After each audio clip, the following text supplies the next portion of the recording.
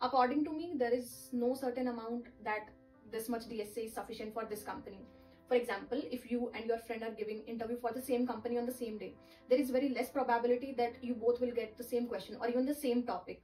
So how much dsa is sufficient? Although the question is very vague but it is very inherent that at this stage you get this question. Huh, I mean, I don't think the question is right. I mean, I, I understand. I also had that question when I started, uh, and people do have it, and it makes sense to have it. It's a it's a gen- generic question, but I don't think it's the right way to look at it.